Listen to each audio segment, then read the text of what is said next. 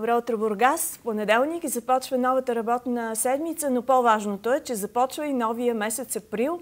Първи април е днес и ако ви пратят за зелен хайвер, не се сърдете. Такива са препоръките по дългогодишни традиции в България. Днес хората обичат да се послъгват, да се пошегуват с някого, особено с хората, които нямат чак толкова чувство за хумор. Тогава е най-забавно, но за днес наистина внимавайте да не ви подложат бананова кора, да не се пошегуват с вас, така че да бъдете готови за всякакви изненади хумора и шегата празнуваме в България, така че а, трябва да се усмихнем още от сутринта, да си пожелаем а, пълноценна и успешна работна седмица.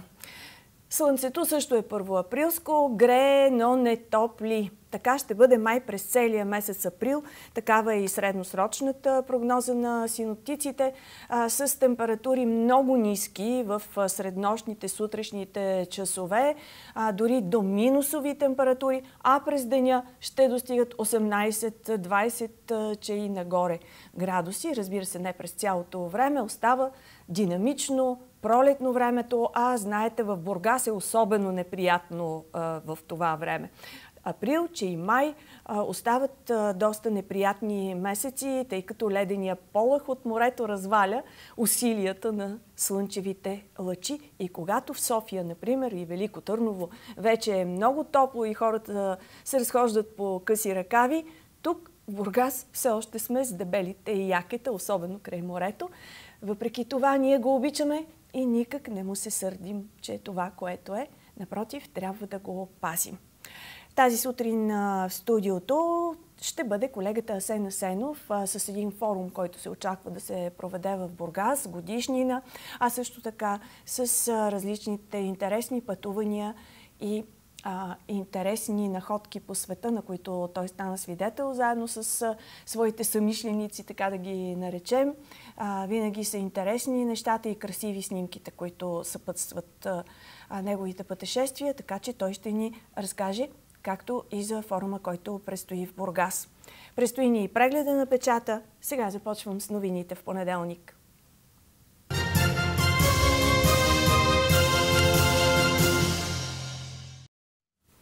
С огромен интерес, разбира се, следим като съседна държава какво се случва в Турция. Тежки избори се провеждат а, там, като че ли Ердоган а, губи в Анкара но все още не се знае какво ще се случи. Със сигурност Ердоган запазва Истанбул. Опозицията обаче поведе в Анкара. Партията на президент Ердоган запазва управлението на най-големия град Турция Истанбул. Това сочат частичните резултати от местните избори. След преброяването на 72% от бюлетините, кандидатът на управляващите Бинали Елдаръм взима 50,4% от гласовете в града на Босфора. Екрем Имамаглу от Републиканската народна партия събира 47%. В столицата Анкара обаче битката е най-оспорвана.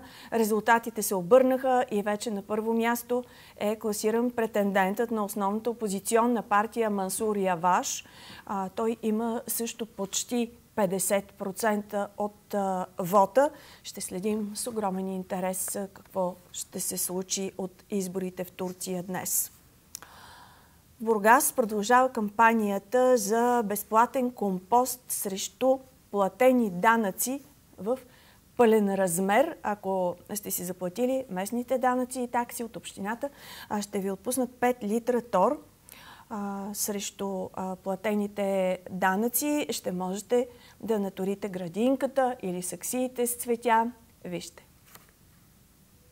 Изискването на общината е най-късно до 30 април да бъдат платени пълният размер на дължимите данък сграда и такса битови отпадъци.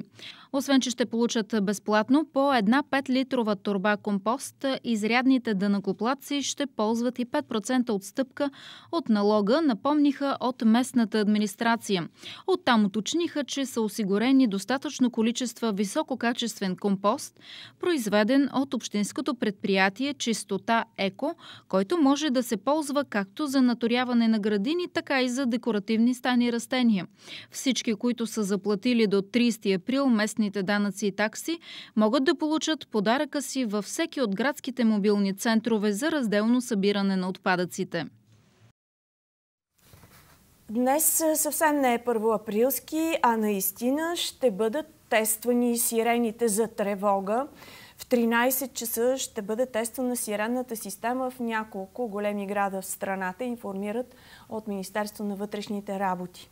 Тестовете ще са в Бургас, Варна, Кърджали, Монтана, Пазарджик, Плевен и Пловдив. Също така и в Русе, Смолен, София и Враца – 30-километровия периметър около АЕЦ Козлодуй също ще се тестват сирените, ще бъдат излъчвали сигналите за тревога и за край на тревогата. Идеята е, разбира се, да се тества състоянието на системите за сигнализация, техническото им състояние, но и също така гражданите да разпознават различните сигнали за тревога и какво означават.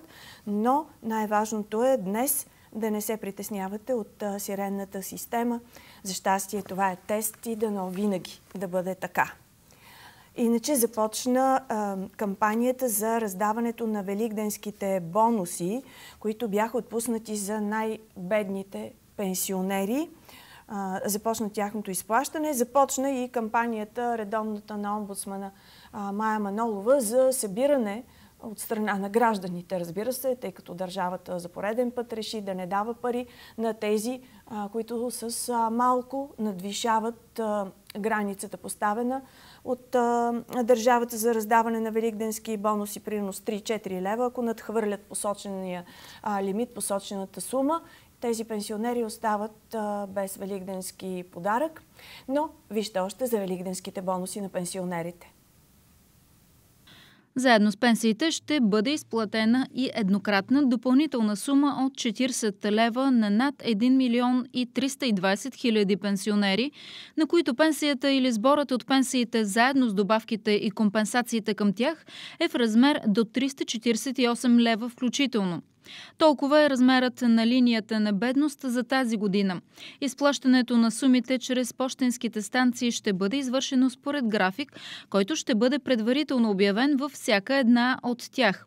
Преводите на априлските пенсии по сметките на пенсионерите, които получават парите си по банков път, ще бъдат извършени на 8 април. Много избори се провеждат и в Украина. Ще следим с интерес какво се случва. Към момента на втори тур в Украина се очаква дали ще победи Володимир Зеленски, който се оказва, че е комедиант, актьор който всъщност така изненадващо поведе изборите там. Иначе от Европейския съюз се съобщават цифрите на беженците в Средиземно море от 2015 година насам, които са ужасяващи. Европейският съюз е помогнал за спасяването на над 730 хиляди беженци в Средиземно море. Още по-ужасяващи са обаче цифрите на загиналите там. От 2015 година, според данни на Европейската комисия, и цитирано писмо от еврокомисаря по миграция и вътрешни работи Димитри Саврамополос до Европейския парламент се посочва, че спасяването на човешки животи продължава да бъде главен приоритет за страните членки на Европейския съюз. Аврамополос отбелязва в писмото си, че неправителствени организации са изиграли ключови роли в спасителните операции в Средиземно море и че тяхната работа не трябва да бъде криминализирана, а, както се получи с а, няколко кораба. Друг е а, въпроса обаче, че за много подобни организации а, подобно спасяване на мигранти се е превърнало в доходен бизнес и схеми за корупция. Така че контрола наистина трябва да е много прецизен. Сега към актовете за незаконни сметища в Камено. Това е единствения начин а, да се преборят а, службите и институциите с склонността на българското население а, в цялостната му компактност. Не говоря само за определени етности. За съжаление, всички българи сме склонни да си хвърляме буклуците където ни падне. Дори все още това явление се наблюдава и в градовете, най-вече в междублоковите пространства на по-крайните квартали. Вижте за актовете в Камено и как там се борят с незаконните сметища. Всяка година даваме между 70 и 80 хиляди лева за почистване на незаконните сметища край селата, а вече пета година няма нито един издаден акт. От друга страна, общината редовно получава глоби от екоинспекцията в Бургас, заяви кметът на Камено Желю Вардунски. Ами, като погледнете на всяко село, четирите му края. 12 почетели, айде камера да включим, 13, 60 постоянно. Просто отиде някой хвърли някакво лимарке с отпадъци и имам чувство, че го дебнат още 5 човека и започва там и става сметчета. Наскоро общината е закупила нов камион за сметоизвозване, който значително облегчил работата на Общинската служба по чистота. Много съм доволен, защото около 50 хиляди лева под предвидените, които бяхме обявили. И това е, може би, хубавото на обществените поръчки.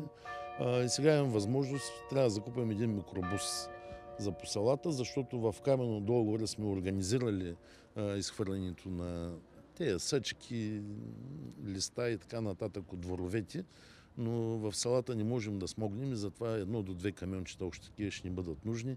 Да си ги оставят пред къщите, нали? Ние да минаваме, да ги вдигаме. Дори безплатно да е, пак ще економисаме повече, отколкото да правят незаконни сметища. Желю Вардунски отправи предупреждение към кметовете на малките населени места да проявят повече строгост към нарушителите и да издават актове. По думите му, на следващия ден след като е било почистено незаконно сметище край село Черни връх, общинските служители са намерили няколко тона строителни отпадъци от разрушена къща.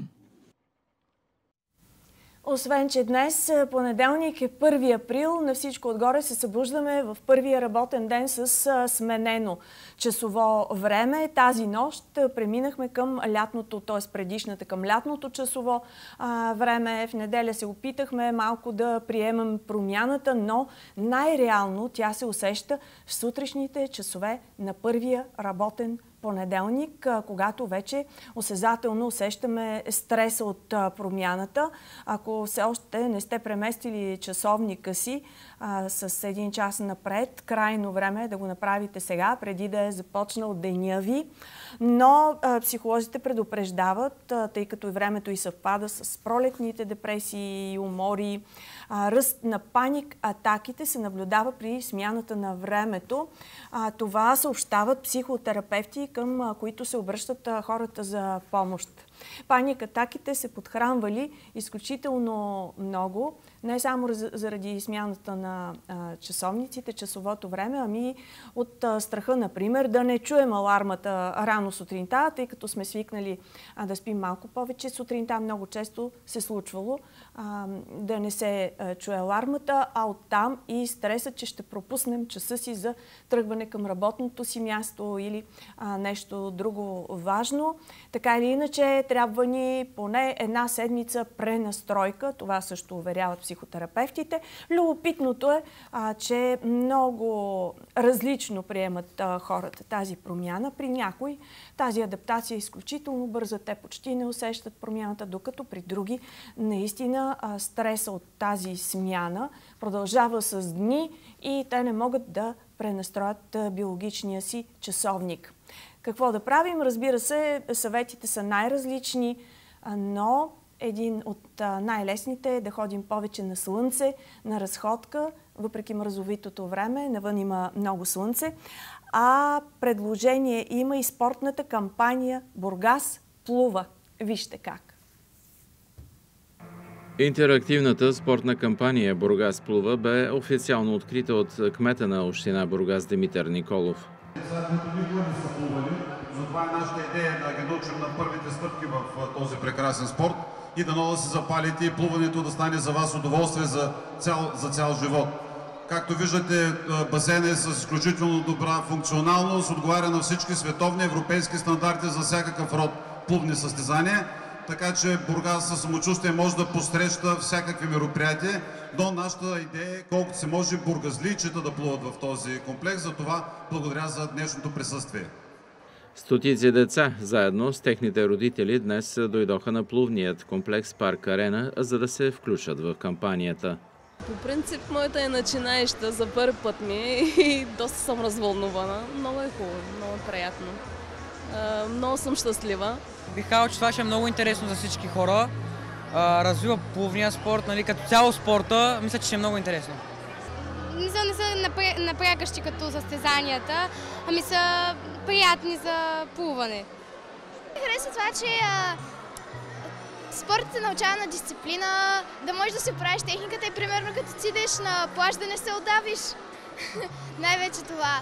Именно това е идеята на кампанията да обедини на едно място родители, деца, треньори в името на спорта. Искаме да обединим целия град всъщност под а, зависимост какъв е спорта. Всъщност тук на първо място идва спорта, в момента плуване и водна топка.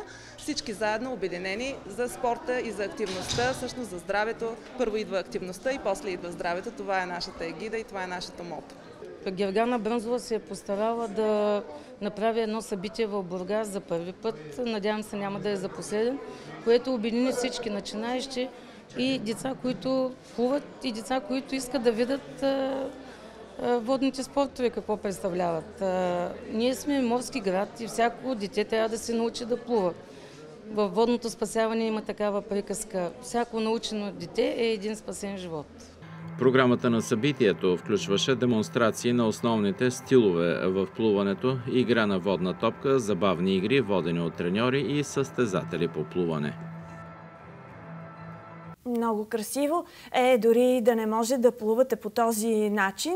Можете просто да поплувате в басейните, в прекрасните спортни бази, които има в Бургас, за здраве и за справяне с тревожността и стреса след смяната на лятното часово към лятното часово време. Разбира се, докато се адаптираме, завършваме с нещо изключително приятно. Истински бейби бум, зоологическата градина Зообургас. Там се родиха няколко бебенца от различни видове животни. Вижте. През последните дни семейството на Зоо Бургас се увеличи с бебе муфлонче, мини пони и емо. Емотата обикновено снасят през януари, след което яйцата се мътят от мъжките в продължение на около 2 месеца. При нас всяка пролет, както казват медиите, вече има бейби бум. От една седмица започна масово раждане на и излюпване на различни видове животинки. Започнахме преди няколко дни с малко муфлонче, след това е, се излюпи штраусче и вчера се, излюп, се роди и конче.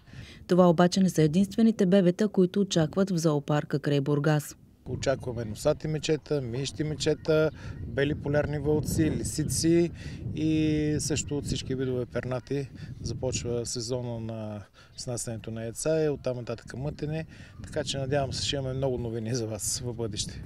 В скоро време предстои официално откриване на зоопарка, а собствениците обещават да изненадат посетителите с нови екзотични животни, които за сега обаче ще останат в тайна.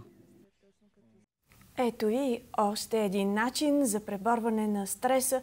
Изключително много зареждат животинките от всякакъв вид и домашните, и тези в зоологическата градина. Така че, ако нямате възможност да си имате вкъщи животинка, куче, котка а, или птичка или рибка, разходете се до Зообургас на две крачки разстояние. С много усмивка и настроение ще ви заради тази разходка. Усмивки и настроение ви пожелавам в този първоаприлски ден на шегата и хумора. Всъщност, още веднъж да ви кажа какво празнуваме в, в България.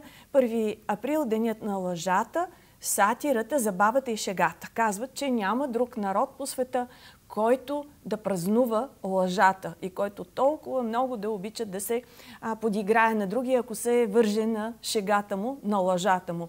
Това е единствения ден в годината, когато можете да излъжете някого и да се пошегувате с приятелите си а, и то съвсем безнаказано, без да се страхувате, че ще ви се разсърди. Дори е задължително да погодите номер на някого по стара българска традиция, това носело късмет. А, има няколко версии а, за това, защо точно 1 април. Една от тях е свързана с Франция по времето на Луи XIV и смяната на юлианския календар. Други приписват а, зараждането на празника от а, древния Рим, а, когато празнували празника на глупаците. Да, различни са версиите. Аз лично не знам защо. А, така се замислям от цялата ситуация в България и всичко, което ни се случва, че може би е крайно време да започнем да празнуваме не празника на шегата, хумора и сатирата, а направо празника на глупаците. Останете с нашата програма. Продължаваме с прегледа на печата.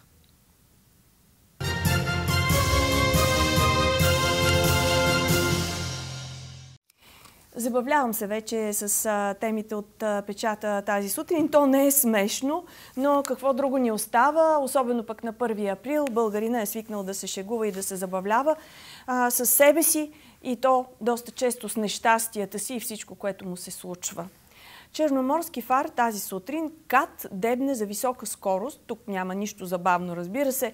За 2018 година в областта 33 са загиналите 412 пътни инцидента. А, ние сме, т.е. Бургас, областта, региона, особено през лятото, сме едни от водещите в страната. За съжаление, по висока скорост, пътни инциденти и много загинали по пътищата тук. От днес започва кампанията на пътна полиция за поредна акция Скорост, която се провежда в цялата страна и продължава през започващата седмица. А тук специализираната операция знаем, че се осъществява едновременно във всички европейски държави под ТИСПОЛ, пътната мрежа за сигурност в Европа, като основна причина за настъпване на пътно-транспортни происшествия за изминалата година са нарушения, извършени от водачите. Това е нали, другата основна причина, поради която се започва акция скорост. А, водачите са виновни за а, въпросните пътно-транспортни инциденти, най-често превишена, несъобразена, както я наричат в полицията, скорост. А, това е най-честата причина и чак след това се нареждат а, други различни. С най-голям относителен дял движение с превишена скорост. Малко по-надолу. Четем. Църквата се обяви против изграждането на крематориум в Камено. Е, знаете, имаше такава идея. А, ние също ви показахме репортаж. Кметът на Камено, Желю Вардунски, е взел позиция заради позицията на църквата. Последно ще решат местните жители, казва той. На страница 9 голямо интервю с него. Знаем, църквата обича така се намества в различни граждански инициативи. Да, това не е изобщо традиция в България. Тя в крайна сметка не е традиция, не е била и за християнския свят като цяло, но в много държави вече се прилага кремирането, тъй като, за съжаление, вече не само за живите хора няма място под слънцето, ами и за мъртвите. Гробищата са препълнени местата са изключително скъпи, а там дори не дават и кредит да си закупиш такова. Това разбира се в рамките на черния хумор. Двама бургазли в евролистата на ГЕРБ. На страница четвърта можете да се запознаете. Ивелина Василева а, познавате добре. Вероятно и другия, аз не го познавам. Съветник на БСП от а, Поморие напусна поста си в военния санаториум на страница 9 и с почти 40 лева скача таксата за депониране на строителни отпадъци в община Царево на страница 9. На страница 3 пък в Черноморски фар може да прочетете повече за ремонта на булеварди и улици в Бургас и в големите комплекси. Стартира ремонтът на Захари Стоянов. Е хубаво да знаем, тъй като следват и различни промени в организацията на движение. Ето го и вестник Труд. Той е насочен към купуването на жилища, но в случая не към апартамент Гейт, а въобще към кредитирането, към ипотеките, които в момента са доста добри, добро условие и наистина има огромно движение на пазара на имоти. При фиксирана лихва вноските са по-високи – но пък са стабилни. С 550 лева на месец купуваме жилище и то хубаво.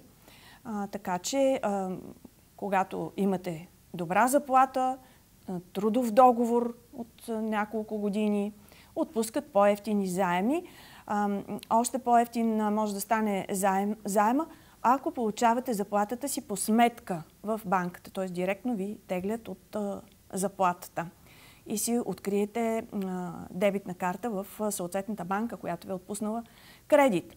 Прегледайте обаче внимателно допълнителните условия в договора, както винаги а, там се крият капаните, а капаните обикновено са в различните такси по обслужване на кредита, които може да се наложи а, да плащате. Но така или иначе, в момента банките са в огромна конкуренция и се надпреварват да привлекат клиенти за ипотечни кредити. Изчисленията са направени, ако вземете кредит от 100 000 лева за срок от 20 години и разполагате с останалата необходима сума за покупка на имота. Банките търсят около 20% съфинансиране лично участие в кредита. Месечните вноски може да зависят от вашите доходи, както и от това дали искате да има период с фиксирана лихва. Така че около 550 лева и сте горд собственик на жилище. Въпросът е вече от там нататък. Как ще се справите? На първа страница Мария Габриел води листата на ГЕРБ. ГЕРБ представиха листата си вчера. Ето го Бойко Борисов с пресъщата му жестикулация, по-успокоен след големите скандали и отново с поредния бисер – представяйки Мария Габриел, която знаем е една много усмихната, много деликатна, много толерантна, много възпитана жена, така про, не про, а по-европейски да речем, от дълги, дългите и стажове в Европа, с едно такова поведение европейско, той я представи и каза, не бъдете кучки това на официален форум. Ето Мария Габриел, тя не е кучка, вероятно се фиксираше Елена Йончева, която пък е типичната кучка, но тълкуванията оставаме за вас. Бойко Борисов призова своите си кандидати за евродепутати, по-скоро евродепутатки, не бъдете кучки. Меридиан матч, двоен триумф на Мерцедес в Бахрейн от Формула 1. 10 от Ботев Пловдив отчаяха Левски, Кристиян Димитров се репчи на Божинов и вкарва за един на един на Герена. От Англия абсурден автогол носи 2 на 1 на Ливърпул над Тотнам на 12 и 13 страница, а нафтата сломи с 3 на 2 червените. Тук става въпрос за волейбол. Това е от Меридиан матч. Повече си прочетете от спортните теми на печате. Така завършваме прегледа в сутрешния влог понеделник, 1 април.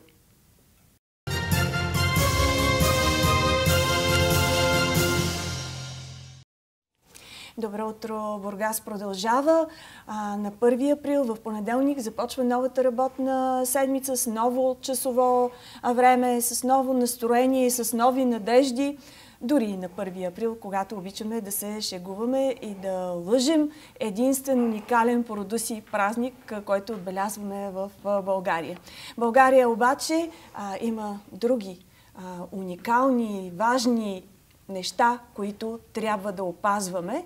А, това е една от задачите, които си е поставил Асен Асенов, колегата, а, който все пак успя доста по-бързо да пристигне в студиото тази сутрин а, за да говорим, Асене, добро утро. Добро утро. За да говорим за шестия поред форум и събор за духовното наследство на българите, който тази година ще се проведе в Триявна. Да, точно така. А, културно наследство има много, така, много събори, много форуми, но за духовното наследство на България няма много форуми. И съвсем реално, като се обърнем към историята назад, може да кажем, че ние създадахме едно явление – в духовния живот на България, тъй като не сме а, така профилирани и не сме като коне скапаци да вземем само една част от а, цялата духовна величина на българите и да популяризираме точно нея. Напротив, ние се опитаме в цялост да обхванем всичко това, което България е дала на света и това, което всъщност може да послужи като основа на нашите деца да се гордеят и да се чувстват българи, дори да напуснат България, да знаят, че носят в себе си една, едно голямо богатство, свързано с духовната история на България. И затова... Това да е... се върнем назад. Да. Как започна всичко? От О, първия форум още? Значи всичко започна много-много назад, 2004 година, в това студио с едно предаване с академик към Чувашки университет и към а, Бамик а, Христо Маджаров от Варна, който е написал много книги за духовната история на България и богомилството. И оттам започна разплитане на цялата тази парадигма, свързана с Траки, Орфей. Преди това имаше разни пис, писания, но така съобхватно свързано с Траки, Орфей, Рода Ду, Богомилите, Бяло братство, Розен Кройцери няма. И ние точно това правим. Затова казвам, че това е явление. Защото ние хващаме, това са укрити знания. Сякаш някой ги укрива, било поради политически причини през това време, 45 години, било поради незнание на някои културни дейци, нали? защото едно е да си интелигентен, друго е да си духовен. Това са две различни неща. И на, а, в Третия райх са били интелигентни лекарите и са набивали на кол. Нали? Това са различни неща. Да. И 2004 година... Има и гениално зло, Абсолютно. както го наричат. Да. да, и така това. Оттам цялата тръгна тази нишка. После почнахме да правим пътувания по места на силата, свързани с рода до българския дух и култура в Италия, Алцтек, където е пратил а, Кобрат, а, един от синовете си, в Волска България, в нали, Аспарухидва. идва тук, прави България, Алцтек не, не може Кобрат малко прещепи на Украина. Всичко това е свързано с рода Дуло и с тази древно българска парадигма, която осветлява българската държава не го прави. Това сме само ние. Разбираш ли кое? Това само ние, като явление, като организация, го правим. Много трудно. Много трудно. А, на, да, на българската държава точно до духовност изобщо ни е. Абсолютно. Но... Това го знаем. То с, с културното наследство не може да се справи българската държава. Какво остава с духовното? А, на различни места се провежда да, всяка година форума. Да проследим Нишката. някой от така култовите места. Ами понеже решихме, че... От самото начало. Решихме, че това, което е, говоря в множествено число, макар че въпреки, че идеята е моя, всъщност тя не е моя, тя е на онзи отгоре, но да речем, аз съм инструмента, с който се осъществява поради незнайни причини това нещо. Но на битовистичен план, на този, който ние си говорим, моя в кавички те са, нали? Да. А, да кажем, че си организатор, основен да. двигател. Да, може това да се е каже. Така, и, и всъщност. И, и, да, и всъщност тези хора, които са около мен, които припознават идеята като тяхна също и помагат, решихме, че най-добре е пътуваме по местата на силата, по живите, там където се случила историята и да осветляваме най-вече това движение, което е оплодило цяла Европа. Дало е таланти, дало е занаячисто, дало е култура, именно богомилското движение, но то не е единично явление. То е свързано с български дух и култура. И като нещо забравено, укрито дори мога да кажа, и от църква, и от държава, ние решихме да го въздигнем и го направихме. Това вече всеки знае за богомилите, пишат се книги, но покрай него започваме да осветляваме и нишката на, на ДНК-то на Рододу, къде ходят, защото точно българи са мотора на много фирми, дори в момента световни в света, защо се случват някои събития и явления. И понеже има места в България, където да. има такива великолепни исторически моменти и неща, които са свързани именно с тази наша забравена история, с тези укрити знания. С тая... И с това духовно наследство. Да. И Кои са те посочени? Да, от Преслав. Преслав да. Близки Преслав. Започнахме там, където е 928 година на Великден е създадено Богомилското учение, 12 и 14 април. И оттам вече започнахме Шумен, а, после започнахме в Казанлък, а, знаеш, между другото, до Казанлък е едно от последните села на богомилите, червените помпове се е казало. Сега е Иваново, там има средище за обучение на богомилски магове в цяла Европа. Сега сме в Трявна, ще кажем защо има макалото на Фухов, махалото на Фуков градено в една от кулите. Каква е, защо в Трявна има такива уникални занаяти, защо трябва да не е била подминавана от турската... Била е турския... е подминавана. Ами не точно, не са закачали занаячиите да. в Трявна, нали? Изцяло са ги толерирали. Защо са били така на уважение по време на цялата турска империя и, и до ден днешен? И защо затихват тия занаяти? Да се опитаме да покажем в очите на българина, на хората, че това е място, където има сърцевина на България. Това са древни занаяти. И то не е просто да направиш нещо, но то е по сакралната геометрия. Тоест, да. нощите на бабите и дядовците ни на времето са правили ни фигури, за да запазват хляба и брашното. Има люлка, в която е положен Исус, не е на празно. Там има един устадарин, се казва, един майстор, уста, най-висшата степен в майсторука. Да. Той прави такива сакрални Чето. неща. Той не е символичният домакин, ще покаже неща, печели награди в Куала Лампур, в Флоренция. Сина му е направил нещо уникално. Доста малко хаотично говориш, но понеже... А, смисъл, че а, тук говорим наистина за Тревнинската школа да. прочута, а всъщност вие търсите причините за това а, и, и, и духовните послания, за, защо е толкова Не прочута. може да си добър майстор без математика. Да, и за тези а, сакрални знаци и символи, а, които ги има кодирани Да. а, в а, тази тревненска школа и дърворезбарска и Точно. за всичките занаяти, които са там. Тази година ще бъде форума В а, Трявна. в Трявна. С ход Тук- свободен. с ход свободен от 12 до 14 април. Април. Какво а, всъщност ще се случи, ще разберем след малко. Искам да се върнем, тъй като имаме снимки от Казанлък от миналата година. Нека да видят нашите зрители. Да, за да видим а, какво се случва обикновено на тези форуми, събори за духовното наследство на българина. А ти ни разкажи а, по тези снимки. Нека първо да кажем кога, къде точно в Казанлък се състоя и да видим а, снимки от там. Всъщност има, а, имаме снимки от самия форум, който е в зала Да. и от различни събития на открито, които са съпътствали. Да, това е. Отзад виждаме богомилските магове. Видяхме един уста, Спас Мавров се казва един скулптор. Това беше Галя Маджарова, която е членка. Ето го тук започна с Христо Маджаров. Това е 2004 година. Това е х- професор Христо Смоленов, а, също на нашия събор. А, Това е друга дама, която анонсира нещата. А това от различни години или от Не, това е всичко в момента си в Казанлък. Казанлък. Да, да, Искаме да покажем, че тук има над година. 20 лектора. Виждаме още хора, свързани с това наше събитие. Ето го отново Христо Маджаров. Мария Рабаджиева беше преди това. Да, с какво всъщност са Над 20 лектора известни тези лектори, тези учени, Ами, ето изследователи, по-скоро да кажем, Значи, на духовното наследство. Десетки години зад себе си, ето го Стадарин и това е знакът на богомилите и вплетен в пръстена на поп Богомил и на Боян Мага. Да. А, него той ни е символичният домакин. Отново виждаме професор Смоленов, с него бяхме в Малта и древните сакрални знаци там. Това са богомилските водачи от Лили Димкова. Специално ни ги даде на Димков лечителя, дъщеря му все още е жива, ние се уважаваме, тя ни благославя събора, ако мога така да се изразя. А, да, тук са подбрани някакси само определени хора, но те са на 20 лектори. Да. Това са професори, изследователи. изследователи на А, Смиляна тези... Захарева, най-мощният глас на планетата е това. Тя какво представя интересно с тези звънци? Тя е пя много- и показва звукова медитация с чановете, които също са направени по сакралната геометрия, и въздействат звуково върху чакрате на човека. Очакваме и други неща. Ето пак виждаме Мар- Мария Рабаджива. Да, тук те А, малко се да, повтарят, малко така че нека вървят а, снимките, а ти а, ни разкажи а, наистина кои са темите обикновено на тези форуми. Всичко е свързано с Трак и Орфей, рода, долу богомилите и с а, знанията, които те представят и практики, които човек може да използва, за да подобри живота си, да хармонизира естествено процесите в организма си, за да живее по-добре. Имаме сутрешни практики, имаме вечерни.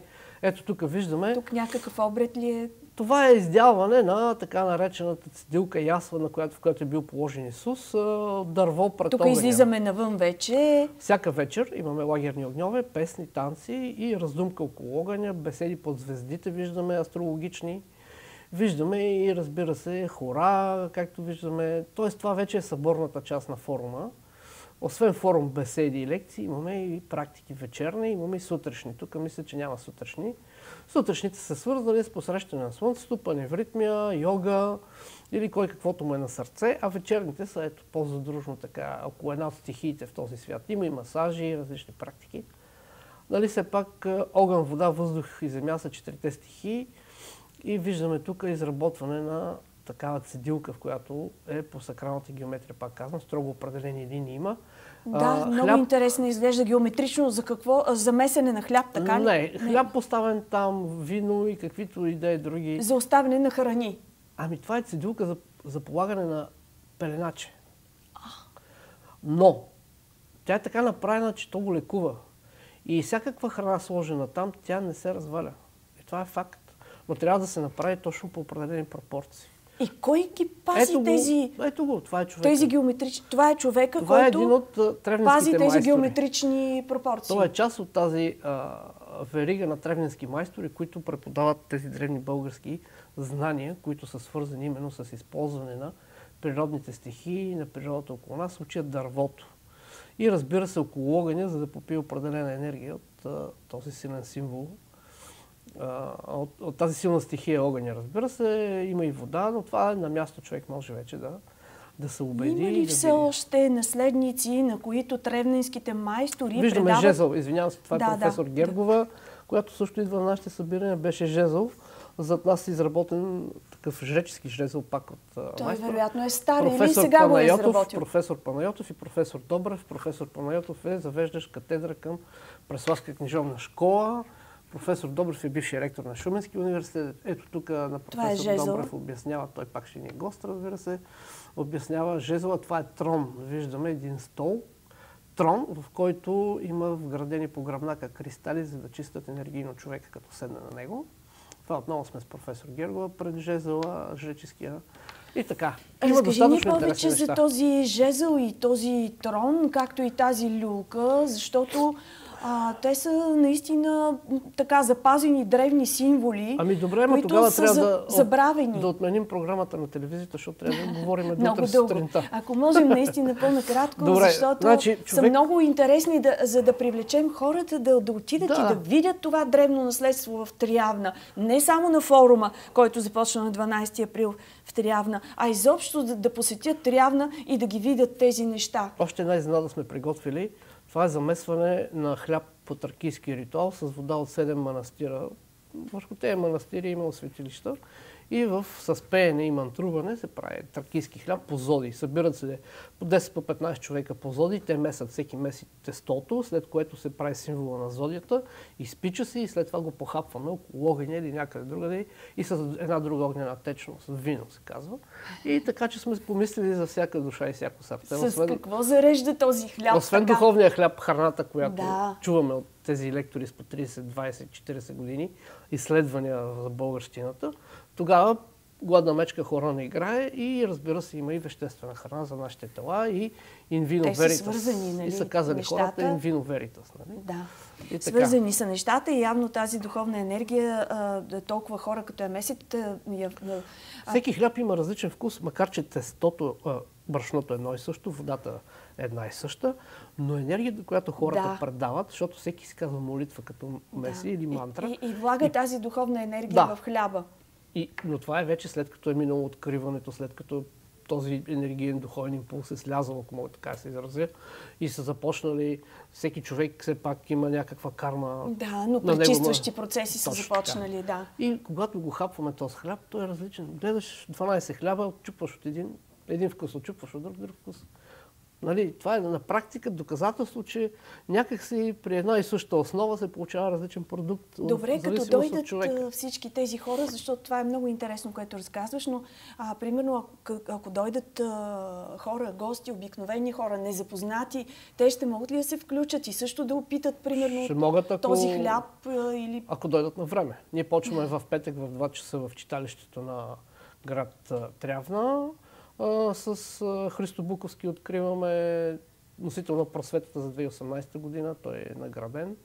И м, така, аз а, няколко думи ще кажем за събор. Той е с държавна награда ли? Не, не, това е... Защото друга. държавата, нали, Няма да чудих го се, ако, трябва, ако оценят някого. Да. за да. Ми, той е направил доста неща. Да, да, той е известно име. И да, и да кажем, хората могат, ако дойдат а, на е време, свободен.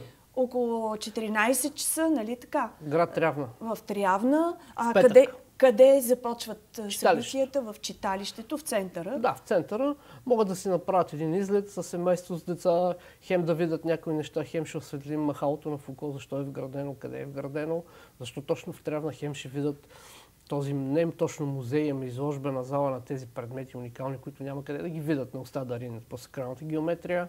Хем ще могат да чуят да си изберат беседа, от който искат, хем ще могат да си направят поход или да похапнат уникална храна, трявненска. Въобще едно такова събитие, което сплотява и семейството, и приятели, които могат да отидат два часа, примерно горе-долу до Трявна, някъде там. И спокойно в И връща събота да дойдат. българската идентичност. Към Заздравяваме това, което... корените на Да, българщината. корените. нали? Това ни е целта. Не дърво без корен отсечено и хвърлено, както повечето, даже това е друга тема, нали, за коледа се сече дърво, това изобщо не е правилно, но това е друга тема. А, като дойде коледа ще говорим, нали, защо киотите не Да. отсичат дърво, а пък ние го отсичаме и се Еми, не съм го отрязваме знала това, ама отдавна а, съм против. А, не съм Не го да знала някакси интуитивно, усещам, че не бива, а, независимо, че не уверяват, между че другото- те били за това отгледани. Между другото, понеже Артур е част от рода Дуло ние имаме едно пътуване до... Артур. Да, крал Артур. Е част от рода Дуло. Той е тракиец. И това ще го докажем. Май месец имаме едно пътуване до Авалон, Солсбъри, там за тайните неща, свързани с друидите и траките. И така че човек като види нашия сайт videlay.com, който е на моето предаване сайт всъщност, ще се ориентира и за събора, ще се ориентира, ако иска да направи едно, един поход по места на силата на тракийски светилища. Било в България, било в Европа, videlay.com, влиза, гледа, заповяда, обикновено с нас е някой просветител, също нали, някой... Да, който може да разказва интересно. Дали ще е професор, е с професор Гергова, примерно една от най-известните тракологи. Имаме юли месец Демир Бабатеке и а, с Боряно свещари, специално пътуване, специални беседи, които тя прави само за нас, тя не прави така беседи. Това, което преподаваше на времето в университетите и тези професори, които ги казвам, това, което преподават в зала, сега го преподават на хората. Не, че го преподават, но го представят на хората, които не всички са студенти имат възможност да ги чуят за техните знания. Ето една възможност да дойдат да, да видят съществени истински неща. И а, да, да чуят... видят в крайна сметка, че а, науката не е а, толкова а, затворена не. за духовното, както звучи в университетите, между другото, защото там не е разрешено. Тези хора, а, вече понеже а, това е извън университета, а, се случва, те могат да разширят много хоризонтите да. на това, което Точно прилагат това като познание. Беше и на нашите професори, като говорим, нали, Добрев, Панайотов, Смоленов, професор Гергова и другите, те казват, нали, когато преподаваш в а, зала, в аула, трябва да влезеш в определени рамки и ограничения. И познанието, което имаш, трябва да го режеш, за да влезе академично. Докато тук вече може да кажем цялата истина, а не да орязваме за това какво сме открили, какво сме показали на света. И по този начин това е едно съвсем свободно представяне на истината в по, така, по-голям мащаб, ако мога да се изразя, неорязана. И човек може да се наслади, входът е свободен. Разбира се, няма безплатни неща. На нас не струва големи усилия това, който реши. На място ще има една котия за дарения. Ако му се откъсне сърцето нещо за български дух и култура, защото всичките тия бесели ние ще ги направим на предаване тук в нашата телевизия. Да, поне до някъде, последни дни. До някъде ще ги орежем, защото не може всичко да предадем. Разбира се. Ако човек иска да навлезе, ако тръгне по този път, той трябва да отдели от времето си, защото много интересни са посоките, по които се следва това духовно наследство на България. Можем ли така да... И послания на българите. Да. Има и послания за Точно за това е въпроса ми. Някои от основните послания на това типично, не типично, а точно характерно тук за нашите земи, за тези наши а, световни посланици, които се познават да. по целия свят, като Дънов, като Дух. Да, учителя, като... учителя по-скоро Бенса много е духовното име, ще бъде застъпен. Да. А, при някои от лекторите ще бъде застъпен, особено академик Маджаров ще го застъпи, както и още един друг лектор. Ще покажем, е, е, както и Жив Кожелев, между другото, който е така доста... Ще покаже кодове на водата, ще покаже кодове на шевици и ще разкаже за голямата и малката мисия на българина, както и за живата и мъртвата вода. Ето, ще дам един жокер. Ще има едно много интересно предаване, как водата, каква структура има и че тя водата не е това, което си мислим. И той го е доказал на практика, заедно с доктор Константин Тренчев, които ние всичките го познаваме. От... Като а, синдикалист. Но той всъщност е учен и изобретил нещо. И ще видим там неща. Но нека да оставим малко така за привкус за тези, които да, дойдат. изненада. Защото човек трябва да вложи усилия от себе си, за да получи. Нали? Не става. И не да може. научи. Е, е, и, и трябва да се заинтересува преди всичко. А тук идеята ни тази сутрин в сутрешния блок е по-скоро да, заинтересу... да се заинтересуват хората. Ако искат повече да научат, наистина а, трябва да се присъединят значи, към тези събития. Това тук е менюто, обаче за да го вкусят трябва Именно, да Именно, трябва да, да отидеш до някъде, да седнеш и така нататък, да се заинтересуваш, да научиш. Да а, и така нататък. Но ето спомена наистина а, много интересни неща, тези кодове, а, закодирани в... А, а, ето като се сетим наистина шевиците, какво са те, наистина приличат на кодове. Тези чанове, които като се сетим как звънят, как въздействат нали, като медитация. А, въобще забравени, а, забравени методики, забравени наши духовни практики, а, които... Ще осветлим някой там. Да, какво по света всъщност по света, където обикаляш ти, е допринесла България. Благодаря ти, че ме подсети. Забравих да кажа нещо много важно за това събитие. Значи в света има само едно единствено общество, което припознава себе си като богомили. Нали? Те казват, ние сме богомили. Mm-hmm. Буквално. Къде е Те това? изплуваха в Сибир. В Сибир? Но вече са в Харватия, в Испания, в Италия, по някои острови и изпращат двама техни така, членове. Единия идва и друг път и идват специално за това събитие да покажат развитието на, тези, на тази парадигма богомилска, как, как се случва там в другите страни. И те твърдо казват, ние сме богомили, нали? нямаме тук някакви неща, ние сме живи богомили. Да. И ако иска човек да ги види, наистина да ги усети, може да дойде в петък, те ще бъдат само. И през цялото време около огъня може да поговори. Нека да видим пък това движение, как се е развило там, нали, тук е унищожено, но пък там се е възродил, да видим те какво послание носят, в конфликт ли са с църквата, не са ли, нали. Въобще така да, да разчупиме нещата. Нали. Не може само да, да следваме като коне с капаци нещо, трябва да огледаме обстановката около нас. Нали. Така е. А, да, да се радваме поне, че, че църквата или някой друг може да не помага държавата, ма поне не пречи. А, не, напротив, така, че... църквата се опитва да пречи. Така. О, бъди сигурна, бъди сигурна. Всичките, всичките събития до сега църквата се опитваше да ни пречи. Дори в, в Преслав, като го правихме, Варнския митрополит се разходи с улиците и размаха пръсти, казваше ви възстановя всички църкви, ако спрете този събор. Пак той събора е на лектори, които преподават в университети и в своите си научни там трактати. Нямат никаква конфликтна точка Нямат, с Те всъщност идват и разказват част от историята на България и разказват вместо в аула, я разказват в зала на хотел. Същото говорят там, същото говорят тук. Но църквата се... Не знам защо. Аз съм православен, аз, аз съм православен християнин. Да нали, православен, да. но, но това православие, което е било, в онова време, не сега, не това, което е свързано тук с разни догми, ограничения. Виж, Исус е дошъл, нито е дал, нито е дал а, други молитви, нито е дал някакви правила, нищо. Той е дал една единствена молитва, Отче наш. И затова богомилите уважават само нея. Освен това, нито е създал а, иерархията на, на църквата. Иерархията създава Константин Велики 325 година на Никейския събор. Жрец на Слънцето идва и казва, аз съм застрашен, християните се разрастват, дай сега тук с моите жреци да направим същата структура, каквато имаме ние, за да ги управляваме. Той първо почва да строи църкви, за да послушва какво се говори там. И така определя, Много че... добре знаем църквата каква машина е Еми, до днес, и католическата, и православната. Това са едни... Не, нека да са живи здрави. А, Все пак не, а, мисълта ми е, че... А, виж, виж, църквата изиграла огромна роля и е спасила по време на османското иго български дух и култура. Нали? не само ценностите, които да. по принцип възпитава и така нататък, но човек наистина трябва да, да знае повече, за да успява да вземе това, което е най-доброто, което е наследството. Та, а, ето това е идеята на форума и събора за духовното наследство даваме, в България. Даваме факти, даваме предоставяме наши лектори, които знаят факти. Нали? Ние като организация нищо не даваме. Не, не, Натрапвате? Не. Събираме хора, които така и така говорят. Те говорят било в списания, било в вестници, било в аула, било по радио, било при друга телевизия.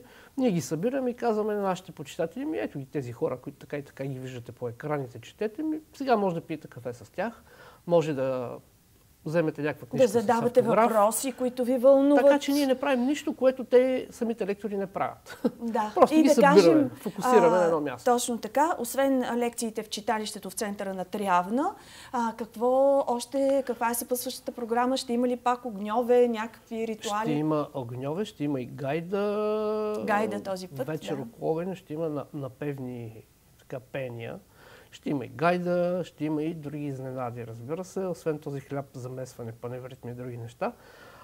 Ще има и поход, но въпреки всичко запазваме и едно поход така... в околностите. Много е красиво там. Да. Много е красиво. А, има и светилище. Да. И пак да кажем махалото на Фуко. Само да загатнеш кое е любопитното около махалото на Фуко, което също е включено в програмата там. От... Ами ще покажем защо и къде в Трявна е вградено. Да. И защо? Защо от цяла България? Точно там. Само на едно единствено място. Е, защо? И точно. Защо? Защото Заповядайте и ще разберете. И ще разберете, да.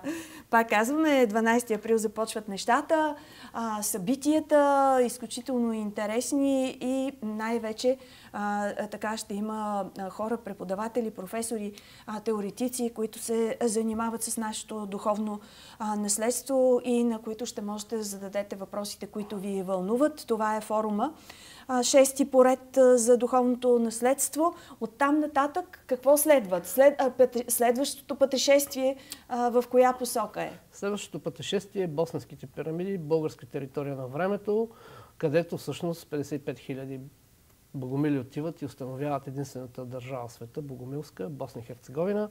Богомилските артефакти, пирамидите, за които толкова се спори, влизане в тунелите, Дервишки манастир, най-голямото врело в Европа. Това е извор от огромна скала на огромна вода и много вкусна бакова. да, винаги не трябва да се пренебрегва и да. храната не само за душата, храната за тялото. Раздвижваме просто, който иска да потърси хора, които милеят за България и български дух и култура, но в пълнота, т.е. хем духовност, хем култура, ние сме хората. Ние сме явлението. Съжалявам, че така трябва да кажа, но това е. Фактите го показват. Вижте да пишете видео в YouTube, ще видите предавания в телевизията от 2004 година. Няма други. Това е. Да, и ще видите тези уникални места, които можете да, да посетите, не просто като екскурзия, като пътешествие, а наистина като разкриване на А който иска да ни спонсорира, за да може да направим предаването прекрасно, чудесно, да направим един предаване за Ремското Евангелие, свързано пак с Евангелието на Методи. Ето който... къде в Италия беше? Във Франция. А, във Франция беше, да, Методи изпраща на Борис Покръстител първото Евангелие на глаголица. Да. На кирилица, извинявам се. Да, да, да. Пътя му, който иска да ни подкрепи за други неща, videlay.com, там има нещо за дарения. Формата е фундация. Тя не разпределя печалба. Няма перо за заплати. Всичко влязло, излиза за хотел, за хонорари, за бензин. Така, за организацията на Ние не получаваме събития. заплати в хората, които сме в фундацията.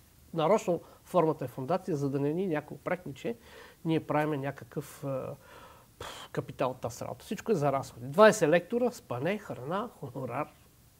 Да. Как е ще работа? Да, нами, налагат се такива обяснения а, у нас, да. тъй като знаем, българин е мнителен.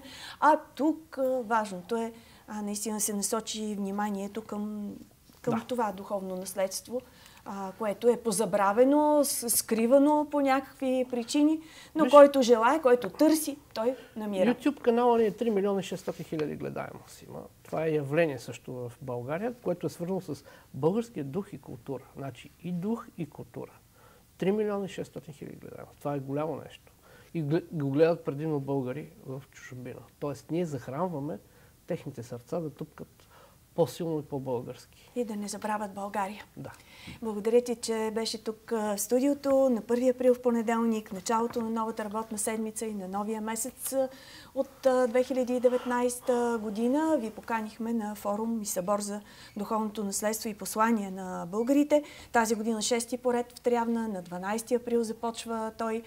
Времето става все по-хубаво, така че заповядайте. Трявна е едно наистина прекрасно място. Така се разделяме в сутрешния блок в понеделник. Бъдете с нас и утре в 8 с още интересни теми и гости. Успех ти желая, Асене. Благодаря. Благодаря ти. Благодаря.